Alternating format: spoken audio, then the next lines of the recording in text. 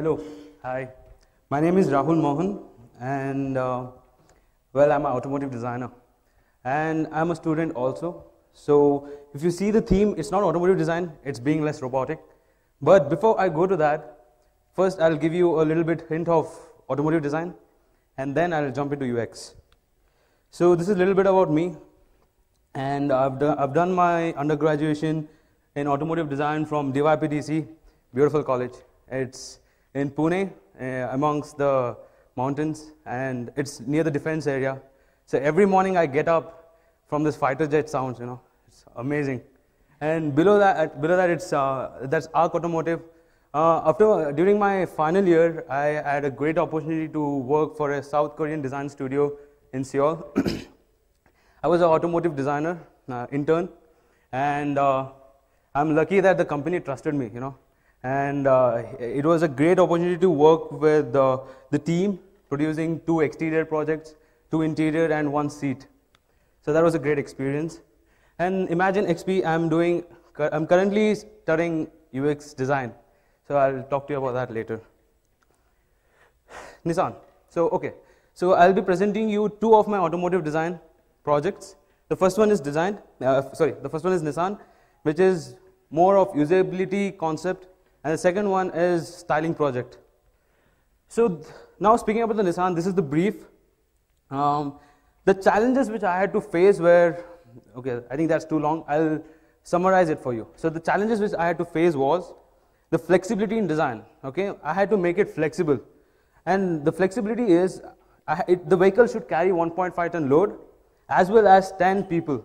Plus, it can be more also. So, depending, that is flexibility. Plus, it has to be cheap.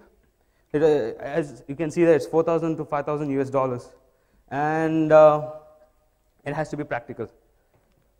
So, basically, this is my idea.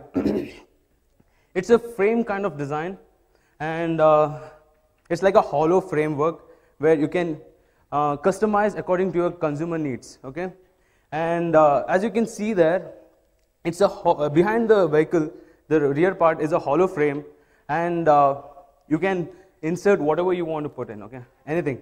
So see that if, you, if, you, if you can see the possibilities, you can put a container which has kitchen appliances in it. You have a shop for you. You can sell burgers and make some money. And then you have bed. If you can, if you put a container which has bed in it, and you have a trailer behind you, it's a mobile home. Plus, if you remove the container, there's plenty of space to accommodate some per persons, you know, like people, and it can become a public transport. And plus, following the brief, it can also add a container which is 1.5 ton load and becomes a load carrier.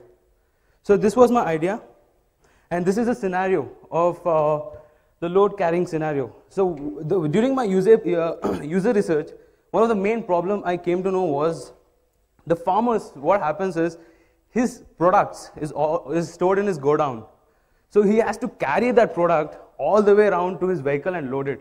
Isn't that difficult? Come on. So what I'm doing here is the, he can take the container itself to the godown and load it there. And when I showed this to the user, he was very happy, you know. This was something very simple but yet very effective. And once he's done loading in the godown, he can get it back, put it in his vehicle, and it's ready to transport. Now, this is a scenario for the public transport. Plenty of space, you can accommodate people, and it's a public transport also. So what I improved on the design, making it more safe by making the surfaces more enclosed and giving protection to the user. And again, this is the same scenario for the new design, where the topmost you can see the load carrying, load transport scenario, and below you can pull down the seats and the person, the people can sit around, I think uh, 8 to 10 people can sit comfortably and um, that's a public transport. So basically, I can I have successfully uh, accomplished the challenge where it also it can carry 1.5 ton load as well as 10 to 15 people. So what did I learn in this project? Thinking the practical aspect of automotive design, thinking about the business aspect of the importance of user research because user research helped me out, helped me in getting many, many, many ideas which will, which later helped me in the design process importance of flexible design thinking, and the methods to follow flexible design thinking.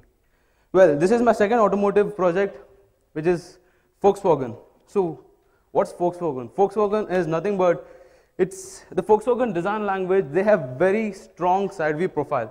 Okay, and uh, I'm currently doing a traveler for Volkswagen. And uh, what's a traveler? Traveler is nothing but it's a vehicle for those people who wants to explore. You know, go to some places which other people have not gone. Just explore the cities. It's for adventurous people. So I went on with my project, and uh, the main motive in this brief was to get a nice side view profile for Volkswagen and get with some nice usability concept where the adventurer, the one who is want to explore, can have a wonderful journey. So I'll directly jump to the final design sketches because I wanted to, I didn't want to go deep. So I'll, uh, so these are the final design sketches. And if you can see the, uh, I've given a nice side view profile for Volkswagen, which is Volkswagen. Volkswagen is known for its side view profile.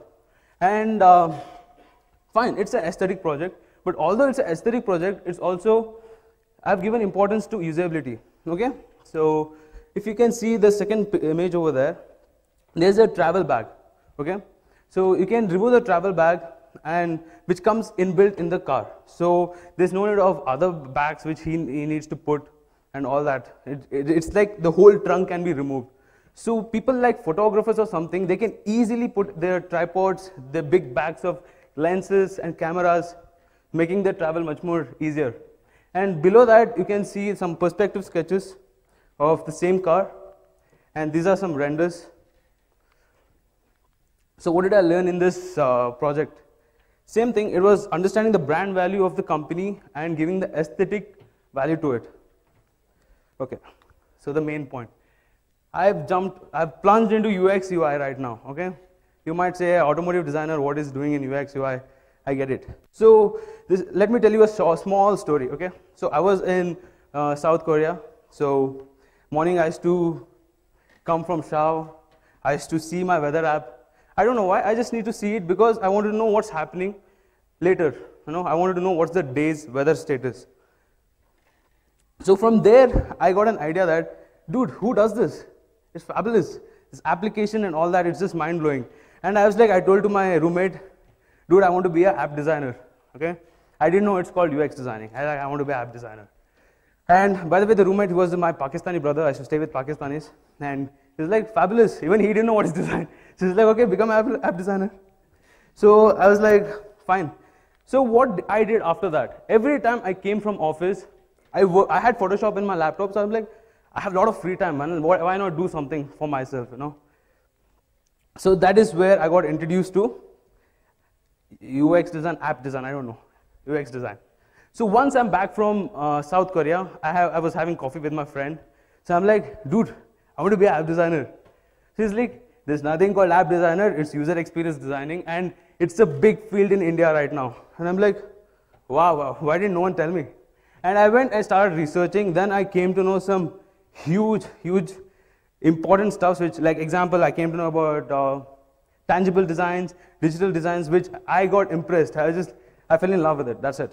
And this was an article I came across, which was by Toyota. 1955, Toyota came up with a campaign called Respect for People. Now, no rocket science. It's simple as that. What Toyota did was they understood the user needs, okay, and they gave what user wants brand was amazing. That year, Toyota did a lot of business. Just they just did one change. They understood user, and this was the mantra of UX, and I loved it. so this was the screenshot of some weather apps which I used to see in my room. I think this is the this is the Yahoo weather app. And what I want to do right now is, after I came back from office, I did a weather app, but from my perspective and my vision. So what was, I, I, I, this was very technical for me. You know, I don't know why there's so much of data, there's so much of stats, why it's so much of technical. So now I'll come to my theme, making it less robotic and more humanistic. This is the same, same uh, weather status but done by Google. So you can see there's so much of stats. So why can't you make it more fun? So there goes my theme called being less robotic. Hmm. I know you'll ask this question. Why a weather app? Fine, I know, but that's okay.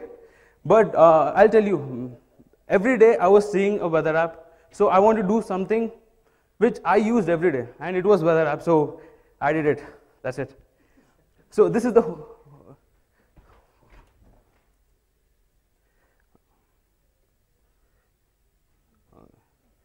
okay. So this is the home screen. So no no no information about weather at all. It's just the city names, but introduced emotionally. Okay. Namaste New Delhi, and uh, Surat is a Gujarati, so why not use a Gujarati text?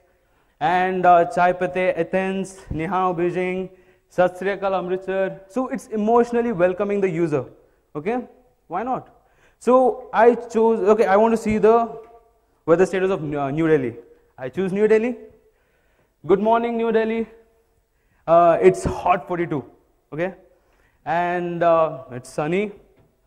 Fine and it can also it obviously it has to say what's to what's going to happen later it will stay hot so chill okay it might get cloudy later but don't worry i'll notify you so what i did in the screen nothing i just showed you the weather status but in a more humanistic way you know no data no no bars nothing so if you see here i think you can't uh, oh my god. You have to give me some extension, huh? This is, yeah. You can see the arrow down there, okay? You press or pull the arrow up. Now you have the uh, weather update, weather status of the whole week, okay? So it's nothing like, uh, it's just the fonts decrease either ways and the last two days are faded and it's visible. So it gives a sense of rotation. Okay? And uh, it shows the weather status of the three days at a glance and the highs and lows. So now the same screen for same example for Athens. It's night. So sleep Athens. And it's cold 17, okay? It's raining. Fine. So it will stay cool till morning. So cuddle and sleep, okay? Fine. So now if you want to see the temperature in Fahrenheit, you choose F and uh, the temperature 17 turns into the Fahrenheit if, if you're interested in. And uh, this is the same, if you pull the arrow key up, this is the same, this is the same uh, screen as I presented to you last for New Delhi. And now default city. Okay, so what is default city? Um, the first box in the home screen is an auto detection app, uh, auto detector, which I think you, most of the apps has. But one problem which I, which I have seen is, if people, if uh, you guys are traveling a lot, the first box is always changing. Today you're in Bangalore, so that's Bangalore. Tomorrow you go to Pune, that's Pune. But you don't know what's happening in your hometown. If, I, if I'm from Pune, I want to know what's happening in my hometown because my mom is staying there. I want to know. Okay. I want to know. So, uh, so I've introduced make default city. How to make it? Press and hold the city which you want to make it make, make default. So the two options pop out, default and remove. You choose default and it gets defaulted. Simple, right? so what does this do? Now one, the, that box is default, okay? How much ever you travel, London, New York, wherever you travel, you have your home screens, which hometowns weather status right there. No need to add anything. So it's right there. So, so that's it. So the same thing goes to the remove city. Choose the remove button. So and it's removed. So the screens during the daylight, okay? So during morning, evening, afternoon, it's this color. And during late evenings, it's this color. I don't I didn't want the user when he's sleeping in his bed, I don't want him to open the screen and I'm like, oh my god, it's yellow. I probably might lose his sleep. So keeping it keeping it some less dimmer, less brighter color like this, I like that one. Wind. It will remain windy for a while. Why not go fly a kite? It's playing with the interest of the user. Okay? It's capturing the interest, giving him some ideas. Go fly a kite. I might probably go and fly. So, conclusion, that's it. So, conclusion, what I want to do. Okay? Again, this thing, there's one more. Okay. What I want to do. I want to majorly aim on tangible designs. Airports, okay? You're traveling to different airports. All, the, all airports are different. There's no airport which is the same. All the airports are different. So once you're out of, eh, eh, out of your airlines, where you where you going to go? Where is the baggage claim? Where is the customs? Where is, you, you, you would probably ask the pretty lady there, okay? That's it. So you don't know. So I need, this is a nice area where we can design a nice user experience for the passenger and transportation. Since I'm from, since I'm from a transport background, I want to design something for cars, some ex user experience for cars and jetpacks. I don't know, you guys, I want jetpack. It's 2015, come on, I need jetpack. So some, some riding experience where I can fly from Pune to Bangalore or something without any air tickets. And food recipe. This was a nice idea which when I came back from gym, I came home, kept my bag, I went to the kitchen, okay? I wanted to cook something. I have onions, tomatoes, everything I have, but what to cook? I don't know. I'm not a chef. I'm a student. I stay alone. So why not? There's a, there's a system where I can click the photos of the ingredients, and there's a recipe for me for by the system. So I have used many recipe apps, but probably to make that one food, I have to run to the grocery to buy some stuffs. So why not? There's a system which can create a recipe by the ingredients you have at home. I'm done. Thank you.